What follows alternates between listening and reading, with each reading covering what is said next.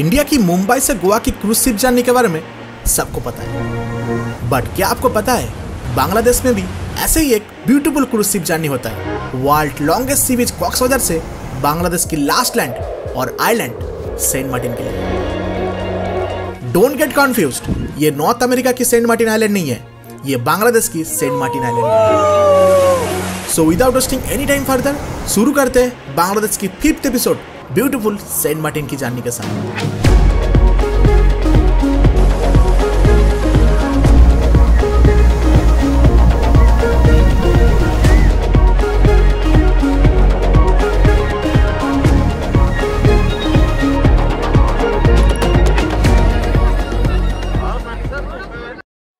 बांग्लादेश की Saint Martin जाने के लिए नॉर्मली दो जगह से क्रूज शिप चलता है। नंबर वन टेकनाप जेटी घाटी जो कॉक्स बाज़ार मेरिन ड्राइव की एकदम लास्ट पॉइंट है। एंड सेकेंड कॉक्स बाज़ार की कस्तूरी घाट। कॉक्स बाज़ार से टेकनाप जेटी घाट की डिस्टेंस है अराउंड 80 किमी। जाने में टाइम लगता है दो घंटे के आसपास। तो अगर आपका क्रूज शिप टेकनाप से छोड़ने वाला है तो अर्ली मॉर्निंग आपको जल्दी से होटल से चेकआउट करके कॉक्स बाज़ार की डॉल्फिन मोड से बाई बस या फिर ऑटो रिज़र्व करके जाना पड़ेगा। But during our travel time Teknaf jetty Ghat से क्रूज शिप अवेलेबल नहीं था। तो हम लोगों को कॉक्सबाजार की कस्तूरी घाट से क्रूज शिप पकड़ना पड़ा था सेंट मार्टिन जाने के लिए। ऐसे तो प्लान था सुबह की पाँच बजे उठकर साढ़े सात बजे क्रूज शिप पकड़ने का। बट लास्ट नाइट हमें मैसेज मिला था, क्रूज शिप आज साढ़े सात बजे की जगह ग्यारह बजे छोड़ने वाला है। तो अकॉर्डिंगली हम लोग सुबह के साढ़े सात बजे सो के उठे, फिर रेडी हुए और नीचे चले गए गोल्डन हिल होटल की लास्ट कॉम्प्लीमेंट्री ब्रेकफास्ट करने के लिए।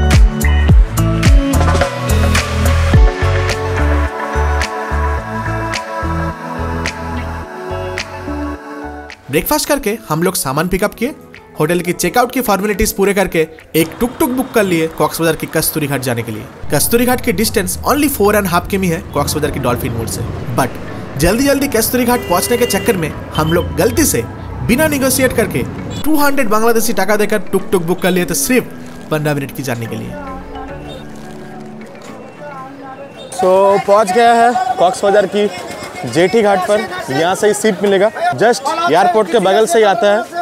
मुझे होटल रूम से दो सौ रुपये देना पड़ा ऑटो पकड़ के। थोड़ा भीड़ भट्टा वाला रास्ता है, मैं दिखाता हूँ। और आगे हम लोग का सिप खड़ा हुआ है।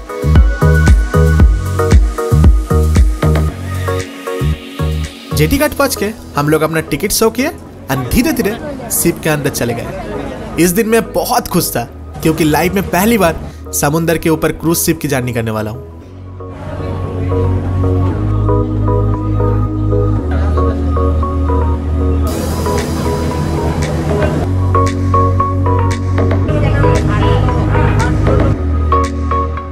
फाइनली चढ़ गए हैं। सिप पर। सिप का नाम है एम बी बारवाली। अभी कॉक्स बाज़ार से हम लोग जा रहे हैं सेंट मार्टिन जो बांग्लादेश के एक आइलैंड है एंड वहीं पर है बांग्लादेश की लास्ट लैंड तो ये ट्रिप अमेजिंग होने वाला है। कॉक्स बाज़ार से सेंट मार्टिन जाने में लगभग पाँच घंटा लग जाएगा। क्या कहूँ एक अच्छा फील आ रहा है क्योंकि सीप में चढ़ के पाँच घंटा जर्नी करने वाला हूँ। ऐसा मेरे लाइफ में पहली बार होने वाला है। बाय द वे मैं ट्राई करता हूँ कुछ सिनेमेटिक शॉट लेने के लिए और आप लोगों को भी दिखाता हूँ।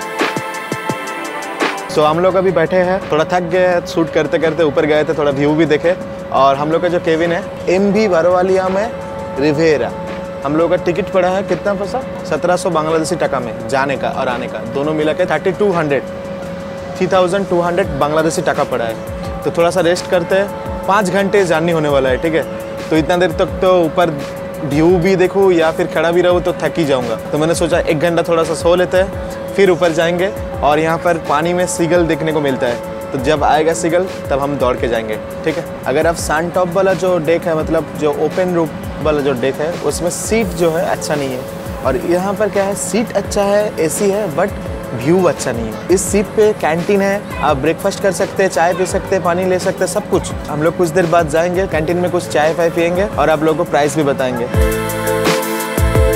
कुछ देर रेस्ट करने के बाद हम लोग अभी निकल गए थे पूरे शिप में। क्या क्या है, क्या फैसिलिटीज़ है, सब कुछ देखने के लिए। पहले ही बता दूँ, मेरे इस शिप का नाम है एम बी वारोवालिया सेंट मार्टिन जाने के लिए सिर्फ़ यही सिप नहीं चलता है। बहुत सारे फ़ेमस फ़ेमस सिप है। इस सिप में बहुत सारे सिटिंग टाइप्स भी अवेलेबल है। जैसे कि panorama deck sun deck riviera deck and two types of cabin like one deluxe cabin and second family bunker cabin washroom canteen open space ये सारी चीज़ अवेलेबल है। इवन ओपन स्पेस में हम लोग के टाइम पर बहुत सारे लोग मस्ती भी कर रहे थे गाना वाना गा के।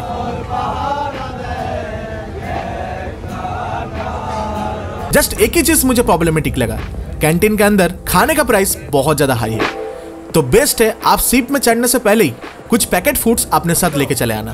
बाकी अदर थिंग्स लाइक टिकट कहाँ से बुक करे क्या क्या प्राइस है सारे केविन्स एंड डेक्स का, ये सब के बारे में मैं अपने टूर प्लान वाला वीडियो में आपको डिटेल्स में बता दूँगा। अभी इस वीडियो को बोरिंग नहीं बनाते हैं।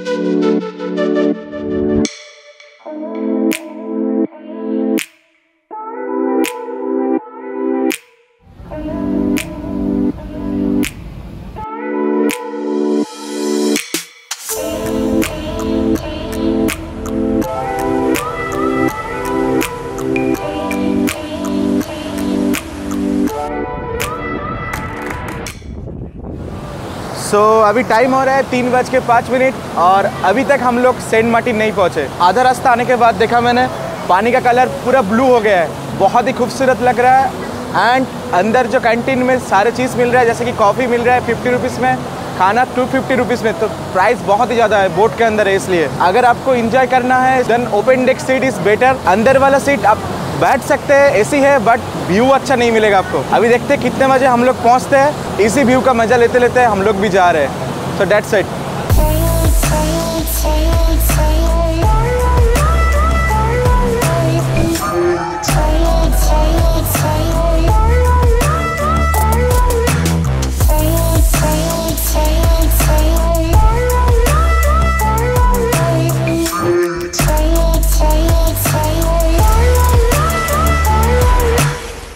Saint Martin पहुँचने से जस्ट थर्टी मिनट्स पहले शुरू हुआ मेरे इस शिप जाने की सबसे बेस्ट खूबसूरत पल।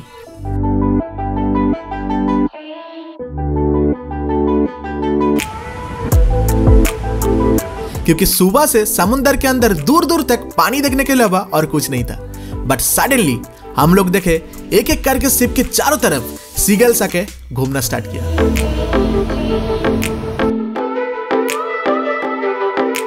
और आप मानोगे नहीं मेरे तरह पूरे शिप के सारे लोग ओपन डेस्क पर चले आए सीगल्स को देखने के लिए।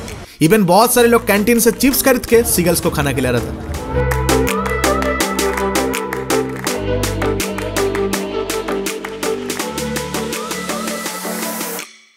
सो so, अभी टाइम हुआ है लगभग चार पैंतालीस। अभी जाके हम लोग पहुँचे सेंट मार्टिन आइलैंड पर। तो बहुत टाइम लग गया। ऐसा तो साढ़े तीन बजे पहुँच जाना चाहिए था बट अभी पाँच बजने में दस मिनट बाकी है सिर्फ़। तो आप समझ ही पा रहे हो तो कितना लेट हुआ है आज ठीक है? बाय द वे हम लोगों ने ऑलरेडी डोन शॉट ले लिया है पूरा सीप का और मेरे पीछे है पूरा सेंट मार्टिन आइलैंड ये आइलैंड लगभग चार किलोमीटर के अंदर पड़ता है। जितना भी होटल रिसोर्ट सब कुछ यहीं पर है ये चार किलोमीटर के अंदर।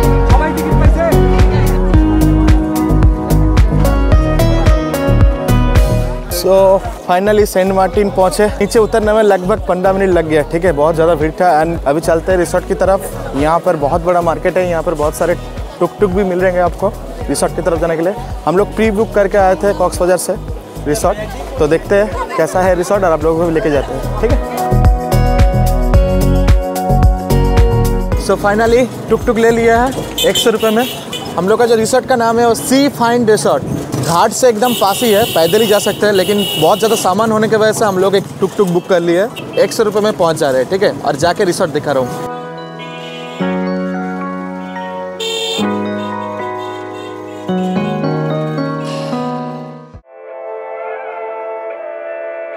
सो so, रिसोर्ट आ चुके हैं ये गेट है हम लोग अंदर आ चुके हैं। इस तरफ़ है रेस्टोरेंट एंड सी बीच और ये सारे जो मेरे पीछे देख रहे हैं आप ये सारे कॉटेज टाइप का रूम है। तो मैं रूम में चेक इन करके आप लोग को दिखाता हूँ। अच्छा ही है मुझे अच्छा लगा। और आज चिल करेंगे।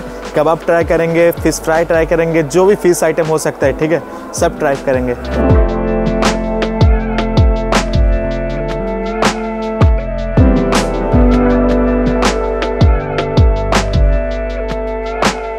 सो so, रिसोर्ट का रूम मिल गया है। मैं आप लोग को दिखाता हूँ कैसा है। हम लोग का जो रूम नंबर है 113 ठीक है? तो तीन जन रहने वाले मैं विशाल सोइकत। तो कैसा है मैं दिखाता हूँ। रूम कुछ ऐसा है देखने में। दो बेड है। यहाँ पर एक बड़ा सा मिरर भी दिया हुआ है। और वार्ड ड्रॉप भी है यहाँ पर। हम लोग तो ज़्यादातर सामान नीचे ही रखते हैं। डब यूज़ नहीं होता क्योंकि भूल जाते हैं। तो वॉशरूम में दिखा देता हूँ। एक बार लाइट जला लूँ। तो वॉशरूम भी साफ़ सुथरा ही है। आप लोग देख पा रहे हैं। सो so, रूम तो आप लोगों को मैं दिखा चुका हूँ लेकिन बाहर अभी लाइट जल गया चारों ठीक है? और ऊपर अभी भी सूरज के जो किरण है थोड़ा थोड़ा दिख रहा है। सूरज तो डूब गया लेकिन अच्छा दिख रहा है। लाल लाल दिखा रहा है पूरा रेड कलर चारों तरफ़ तुलसी के पेड़ है ये बहुत ही अच्छा लगा मुझे। फेस होने के बाद हम लोग जाएँगे इस तरफ़ जो रेस्टोरेंट है क्योंकि दस बजे हम लोग खाना खाए थे ठीक है? उसके बाद खाना नहीं खाए। खाना खाने के बाद हम लोग बीच पर जाएँगे क्योंकि बीच तो एकदम बगल में है। बीच पर जाएँगे एक्सप्लोर करेंगे बीच को। एंड शाम को यहाँ पर जो सी बीच मार्केट होता है, वहाँ पर जाएँगे, मछली ट्राई करेंगे, ठीक है? बहुत कुछ करने वाले मतलब मज़े में हूँ मैं एकदम।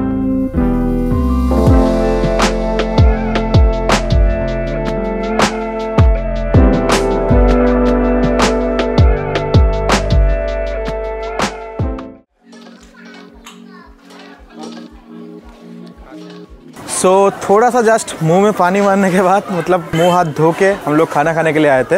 इस तरफ़ है रेस्टोरेंट और ये भी पूरा रेस्टोरेंट ही है लेकिन वहाँ पर बहुत ज़्यादा भीड़ है। और सिर्फ़ हम लोग ही नहीं है जो लंच नहीं किया है ठीक है? बहुत सारे लोग अभी आए हैं लंच करने के लिए जो भी हम लोग के साथ सीप में थे। रेस्टोरेंट के जो लोग थे उन लोगों को हमने रिक्वेस्ट किया।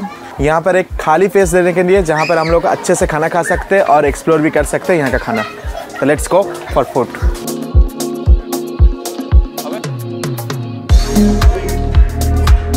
भाई रेस्टोरेंट में खाना खाने तो आए हैं लेकिन गाना बज रहा है जुबिन नेटवर्क का। खुशी जब भी होगी वही गाना बज रहा है। अच्छा लग रहा है। लग रहा है कि इंडिया में कोई रिसोर्ट में घूमना है बीच पर।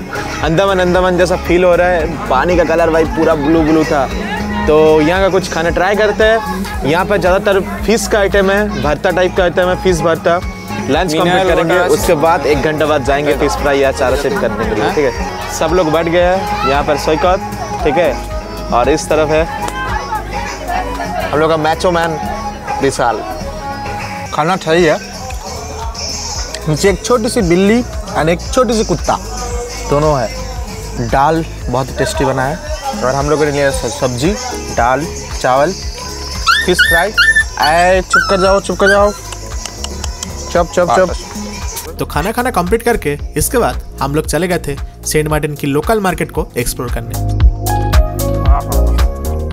तो रिसोर्ट में खाना खाने के बाद हम लोग फ्रेश होके निकल चुके थे थोड़ा सेंट मार्टिन के जो बाज़ार है इसको थोड़ा एक्सप्लोर करने के लिए। तो सबसे पहले हम लोग ट्राई कर रहे हैं यहाँ के। ये है जैकरी पाउडर से बना आ, स्नैक्स ज़्यादा मीठा नहीं है बहुत ही बढ़िया लग रहा है। थर्टी बांग्लादेशी टका में 100 ग्राम। क्रंची है। अच्छा लग रहा है। मुझे अच्छा लगा मैं थोड़ा खरीद के घर भी लेके जाऊँगा। सो स्नैक्स खाते खाते मार्केट के अंदर मैं देख रहा हूँ अभी, बहुत सारे दुकान है ड्राई फ़िश का। मतलब क्या बोलूँ, यहाँ पर इतना बड़ा बड़ा फ़िश है जो ड्राई बन के रखा हुआ है पैकेट में। एंड मैं तो ट्राई नहीं करता हूँ, बहुत सारे लोग हैं जो ड्राई फ़िश पसंद करता है। तो मैं वही कहूँगा, आप लोग यहाँ से ड्राई फ़िश खरीद के ले सकते हैं। पैकेट बना हुआ है, यहाँ से ले जाना बढ़िया हुआ वेराइटीज टाइप ऑफ़ फ़िश है। सेंट तो बहुत ज़्यादा आ रहा है। खाने का भी मन नहीं कर रहा है क्योंकि ड्राई फ़िश का स्मेल बहुत ही मतलब भयानक जैसा लगता है मेरे को। ठीक है मुझे पसंद नहीं है। सेंट मार्टिन मार्केट में सभी चीज़ का price as compared to Cox's Bazar और बांग्लादेश के अदर पार्ट से थोड़ा हाई है। क्योंकि यहाँ पर सारे सामान बाय सीप लाया जाता है। कोलकाता में तो रसगुल्ला फ़ेमस है आप लोगों को पता है। पूरी दुनिया में कोलकाता का रसगुल्ला फ़ेमस है। तो अभी मैंने लिया है सेंट मार्टिन में बांग्लादेश की पहला रसगुल्ला, ठीक है? और एक जो चीज़ लिया है मैंने, ये है चमचम, ठीक है? देखने में तो बहुत स्वादिष्ट लग रहा है, ट्राई करके देखते हैं। क्वालिटी है अच्छा लगा मेरे को। बीस रुपये लिया रसगुल्ला, और चमचम का प्राइस भी बीस रुपये है, छाना से बना हुआ है, ठीक है? तो ट्राई करके देखते हैं इसको भी।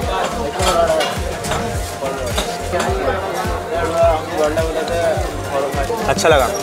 सॉफ्ट है और मीठा बहुत ज़्यादा नहीं है मतलब अपना खाने में अच्छा लग रहा है।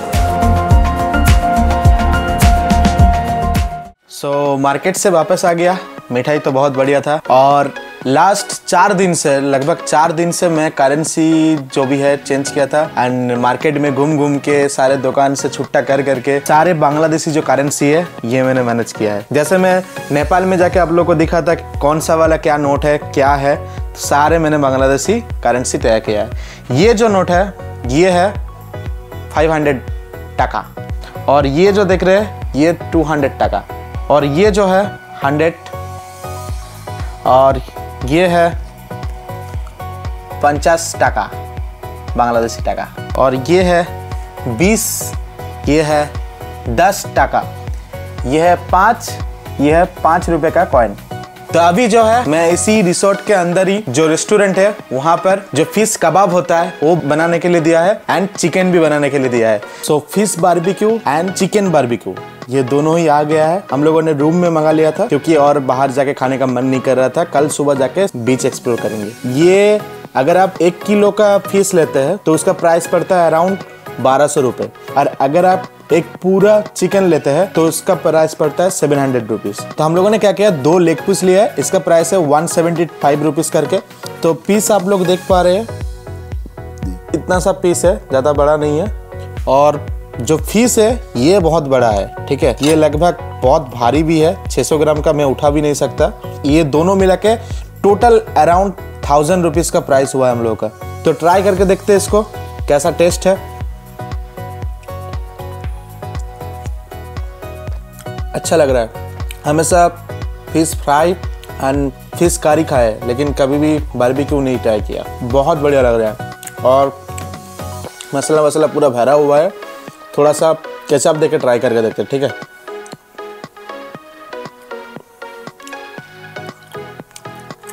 हाँ हाँ हाँ। मज़ा आ गया। तो मैं इस सेंट मार्टिन एपिसोड वन को आज के लिए यहीं पर खत्म करता हूँ। मुझे पता है आप लोगों के पास बहुत सारे क्वेश्चन है। लाइक फूड्स का प्राइस क्या है? रूम का प्राइस क्या है? कहाँ से रिसोर्ट बुक करे? डोंट वरी ये सारे चीज़ के फुल डिटेल्स मेरे बांग्लादेश टूर प्लान वाला वीडियो पर मिल जाएगा। तो मिलते हैं सेंट मार्टिन की सेकेंड एपिसोड के साथ। तब तक के लिए बाय बाय टेक केयर धन्यवाद। अगर वीडियो थोड़ा सा भी अच्छा लगा है तो प्लीज़ सब्सक्राइब द चैनल